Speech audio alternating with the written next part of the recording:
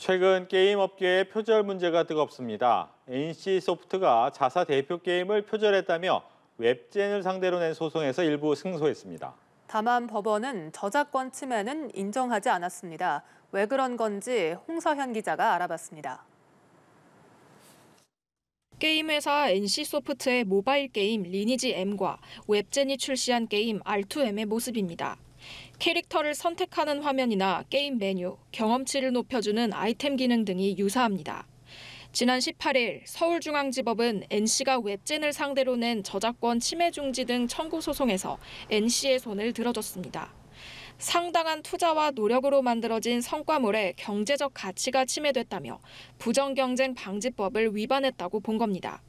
그런데 저작권 침해는 인정되지 않았습니다.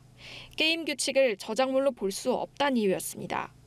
표절은 눈에 드러나는 표현을 두고 가릴 수 있지만 게임 규칙은 표현 이전의 아이디어에 그친다는 겁니다.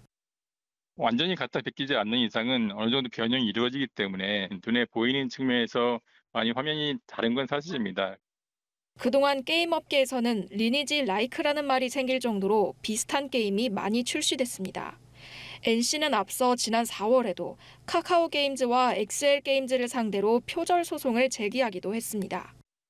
서로가 서로 게임, 게임을 베끼는 그런 문화가 한국 사회는 지난 30년간 광범위하게 일반화돼 있기 때문에 그런 문화를 제거하는 그 과정부터 비슷한 구조의 게임으로 우선 돈벌이에만 매달리는 행태부터 뜯어 고쳐야 대형 히트작도 나올 수 있다는 얘기입니다.